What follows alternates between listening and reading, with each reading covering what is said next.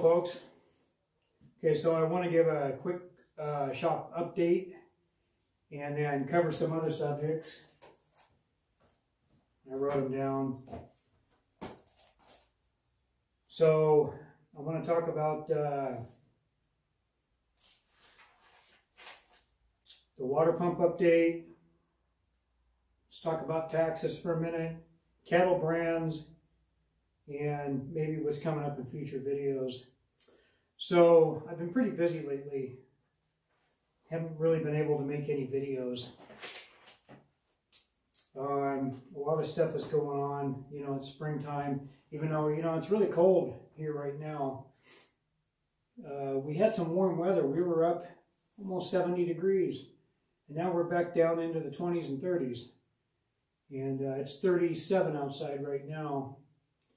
So, you know, it's early spring and this part of the country is big fluctuations this time of year.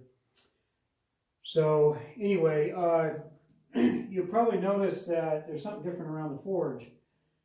I put this metal up. I've been meaning to do this for a long time. I just hadn't gotten around to it until uh, this week.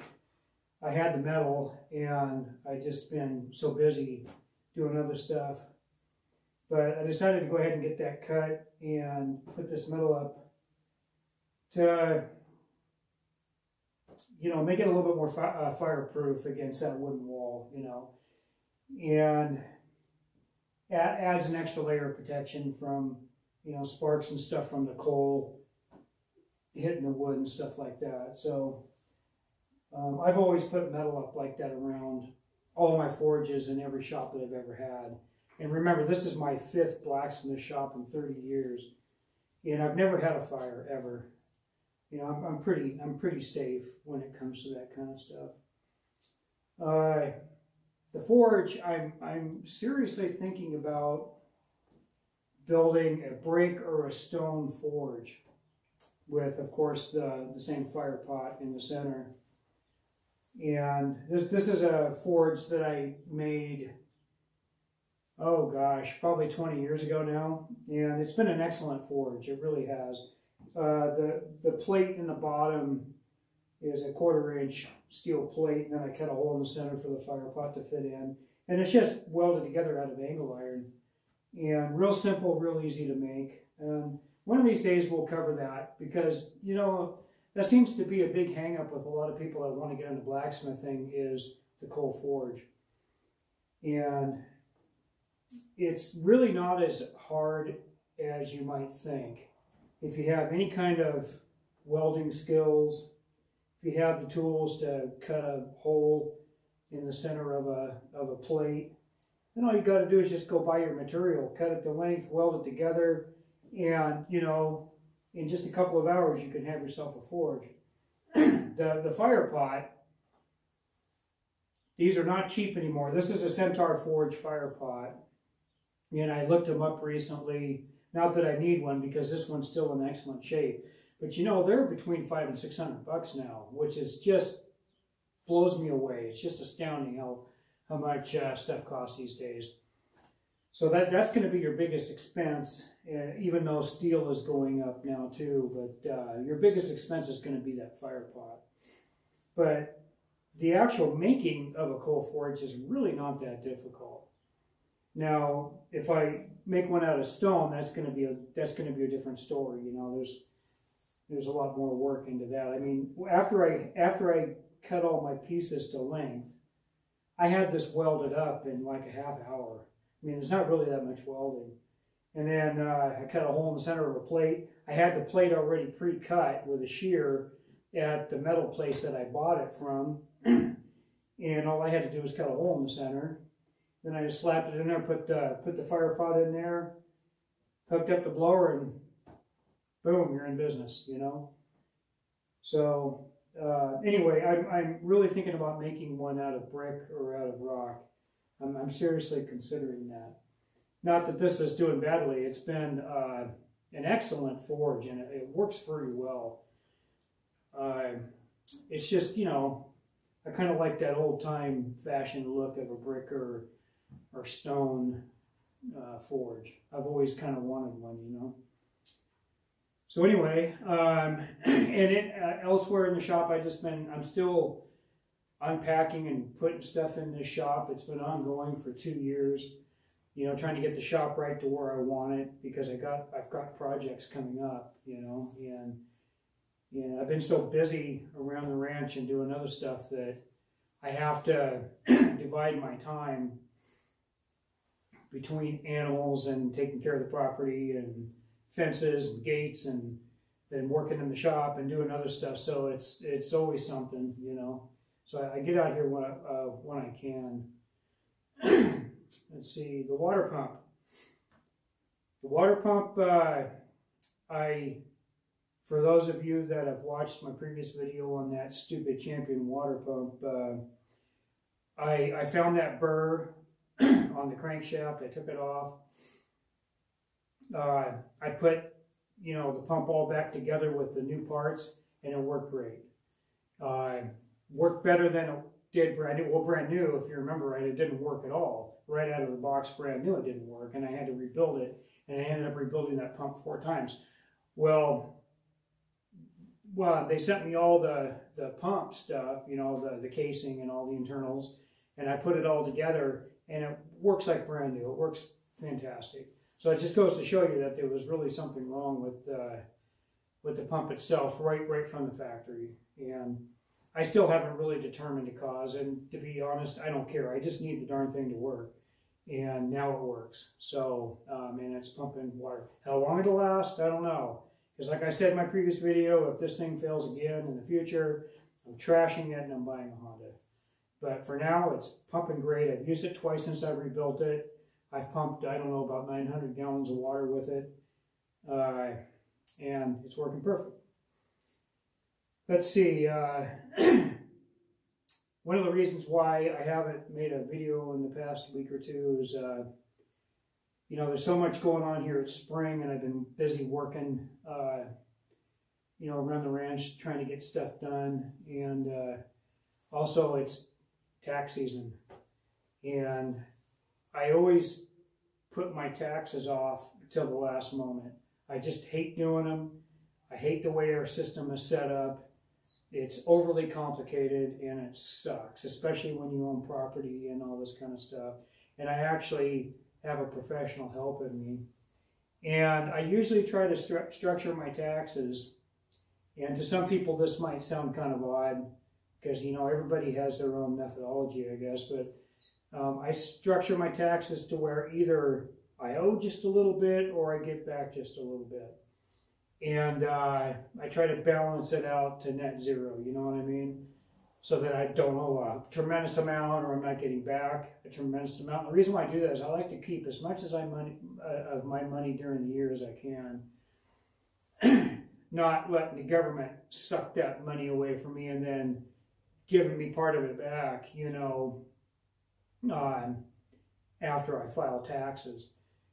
And so that's one of the reasons why I wait till the last moment. I, I always file on time. Uh, I always have done my taxes, you know, you got to do them. But I usually do them and get them submitted about the first week of April. And so that's just me. I hate doing them. I hate the IRS, but you got to do it, right? So this year I actually get a little bit of money back, just a little bit, not much. And last year I owed just a little bit. So, um, matter of fact, what's kind of funny is I'm getting back this year almost the same amount as what I owed last year. I don't know how that worked out, but it's really not that much. We're talking hundreds of dollars here. We're not talking thousands. We're talking, you know, way less than a thousand bucks because I I balance that out to where it comes pretty close to net zero. And, uh, and I'm usually pretty close every year, either owing just a little or getting back just a little. And so far, over my lifetime, it's been pretty successful doing it that way.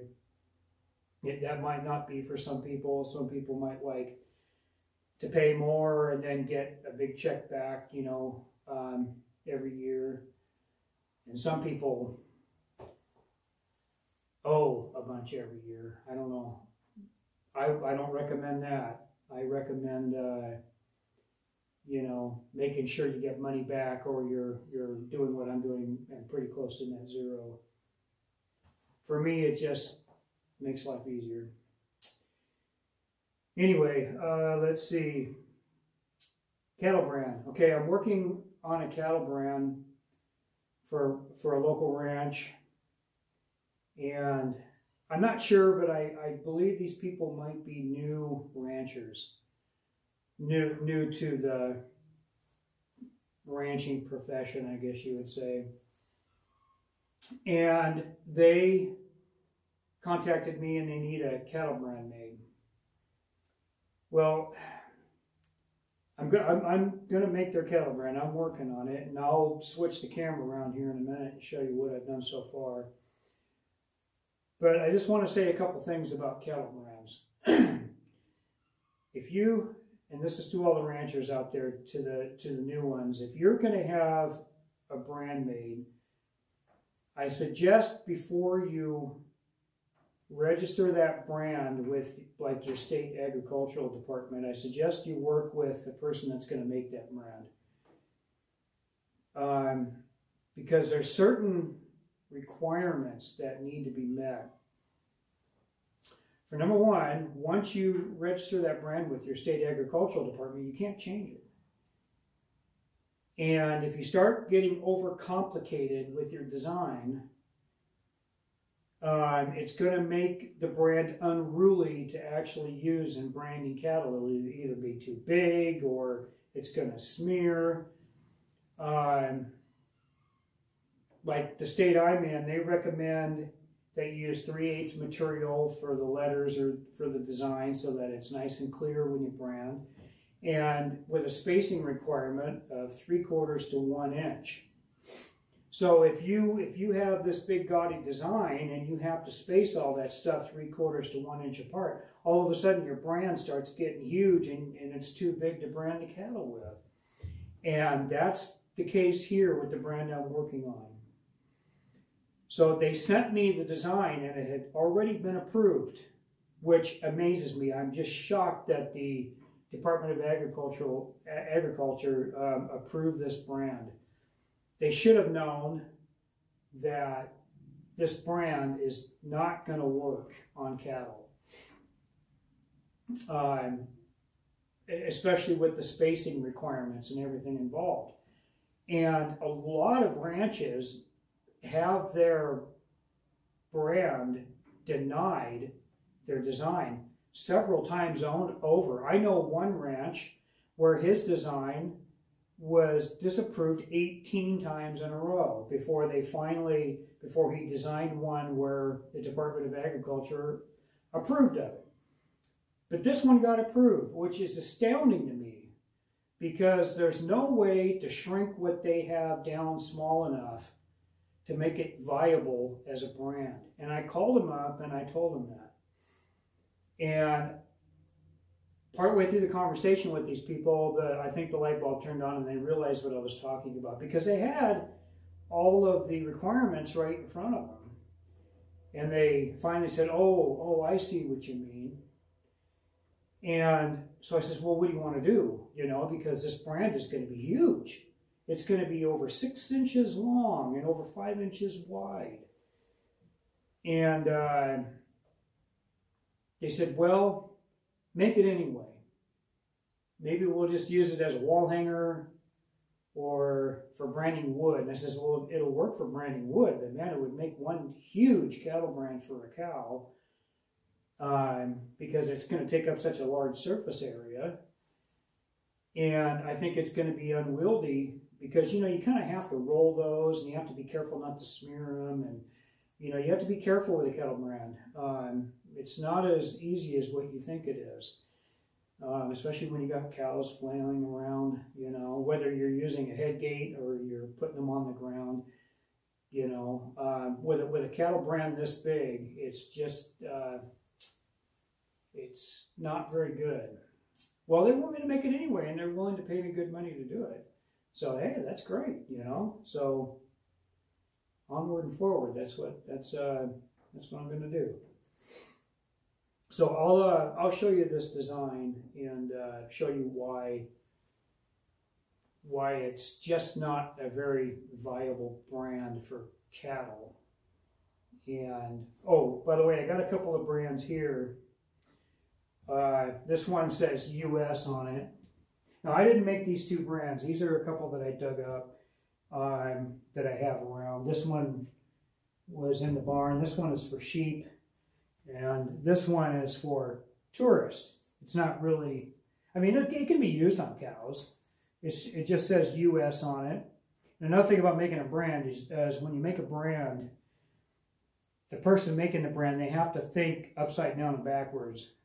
So uh, you're, you're seeing everything backwards on here. But when you look at it from this direction, it says US on it. From that direction. So when you're putting everything together, you got to think of it as looking at it from the handle side. So anyway, this brand is actually not mine. This is one that I borrowed from a local ranch, and it was never used on cattle. It was used to brand wood. They do have a cattle brand that they have, but this one was made uh, more for fun. But they made it to the requirements of this state. It's 3 eighths material. It's about one inch spacing on the letters. And it's a real simple average size. The letters are about three and a half inches tall. And that's about normal, anywhere from about two and a half, three and a half inches tall, and the lettering is about right. And uh, so this one's on the larger size, but it's still just about right for cows. And uh, anyway, I just thought I'd show you those. And then recently I've been welding up some blanks for future project. This is a handle. It's not finished. It's still in rough form, but I just welded it up here yesterday for uh, a blank to eventually go on to a fire poker. Made a made a hook here. A nice basket handle. It's all welded together. And uh, and then when the time comes to make a fire poker, I'll uh, I'll uh, forge weld on the rest of the fire poker onto this handle. Actually, I have a fire poker here that's uh, almost complete that I'm working on. Here, let me get it for you. So this fire poker I welded up here recently. It's not it's not finished. I still have to to uh, cut a, a line in the center on all four sides, chisel a, a groove in there basically. And then once the groove is chiseled, I don't know, about six, eight inches long. I think this is about eight inches long. Then I'll twist this and I'll put some decoration on both ends of the twist. And then I've got to clean it up. It's just in rough form. It's just been uh, welded together, so, you know, it's all it hasn't been cleaned up and wire wheeled or any of that kind of stuff, but it is forged welded together. And uh, yeah, all I got to do is just do a twist. You can see how the handle is forged welded on. I still have to clean that up a bit. I haven't cleaned it up and, you know, uh, forged it down to size yet. I'm still working on that, or I will be working on that. Just ran out of time. I just forged welded everything together and then uh, set it aside to go do other stuff. But but you can see what I'm doing here. And I'll do a video on that someday and show you how all that's done.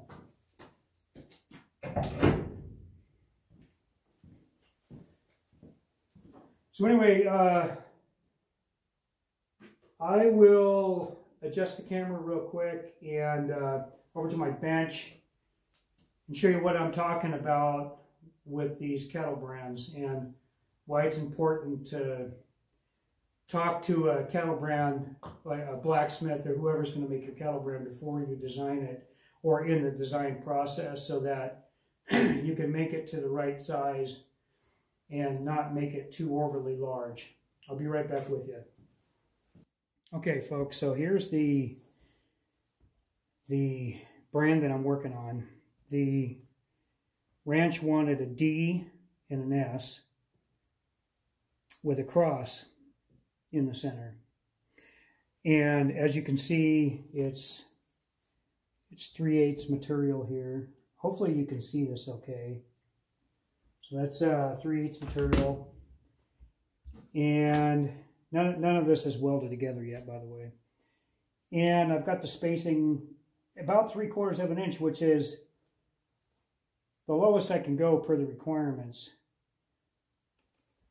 And uh, of course, once the cross gets welded together, then I got to file quarter inch grooves in there so to prevent smearing. And this is a six inch rule here. And you can see it's uh, six inches long. Now here's one of the problems. So it's got to be made out of 3 8 material. That's in the design requirement that was submitted to the Department of Agriculture. Okay, well, most letters on a kettle brand are between two and a half, three inches long. I shrunk this down, I shrunk these letters down to about two inches. That's about as small as I can go on this 3 8 material and still get it to bend right. You know, I mean, you, you go you go much smaller than two inches on the lettering. For one, the letters will be really tiny and it'll be just difficult as hell to, to make letters out of them with, with such large material using 3 eighths. and uh, and then you got to think about your spacing requirements. So you know, it's it's not a very viable design. It really isn't. It, it just makes life really difficult because, as you can see, this this this brand is already at six inches long, keeping it about as small as I possibly can. I mean, I can I can try to bend this up using one inch letters, but I you know I don't think it's going to work. Uh, you know, it was already difficult enough to bend that S and to bend this part of the D. Um, being at two inches. Well, the D wasn't too difficult. The S was getting a little difficult on two inch material. You know, you're only talking material. Well, the, the total letter size is two inch.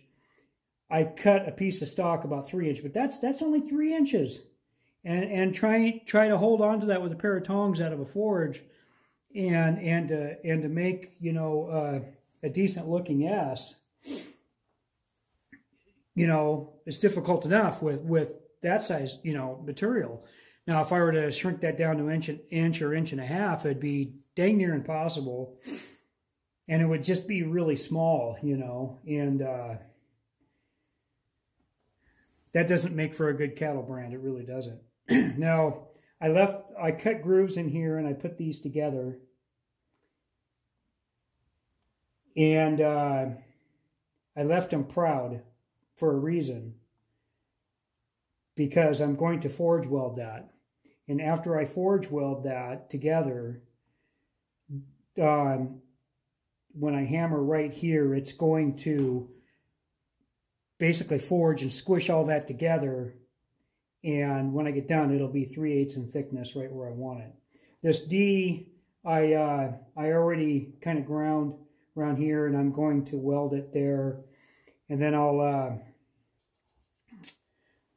uh, it's it's kind of too small really to forge weld to be honest with you. So I'm gonna I'm gonna you know weld that together and grind it down, heat it up, and when I get done, you won't even know it's there. But even there, where it's welded, I got to file a quarter inch groove per the requirements that were submitted to the Department of Agriculture. I've got to uh, file the groove there where the connecting pieces are. That's a requirement, and that helps to keep it from smearing uh, and keeping it from looking right when you brand the cow. But man, that's a, that's a six inch long by five inch wide kettle brand, and it's uh, it's just too big, you know, um, especially lengthwise. Now, if they would have done something like maybe put a D and an S together. They could have even had them offset a little bit or with maybe a circle around it or something like that to compact that and make it smaller. That would have been ideal. But they wanted it in this cross formation. And uh, not realizing until after I talked to him just how massive that brand is. And you know, I did I did my research. I've made brands before. This isn't my first go around with a brand, but I've never made a brand this big. You know, in in in this format, it's it's just different. I've never even seen a brand like that, not used for cattle anyway. Um, but I've made regular size brands and I've made real long brands for woodworkers that had all kinds of letters, you know. I've made all different kinds of brands like that, but never one like this for using on cattle. And I just don't think it's going to work on cattle. Well, I've called around, I did some research. I talked to quite a few ranches. I talked to a guy in Arizona that makes cattle brands for a living. And, uh, sent him the design, and he said the same thing. It's just too big. It's not going to work. Uh, basically confirming what I already knew. Um, but I wanted to get a consensus on it. But um, what do you do, right? But I'm going to weld this all up today, and then I'm going to start working on the handle for it, and and uh, give it to him, I guess, here next week. I told him I'd have it done next week, so it's not really a complicated thing, you know, it's not hard to make a brand really. But, you know, people that need brands made for ranches, they need to work with their blacksmith or their uh, whoever's making it, their metal guy, to uh, to help them design it so that they can uh, make something that's not large and unwieldy, you know, because they've got to remember that they want to use this on a on a live animal. so anyway, that's all I have this week, folks. Talk to you later.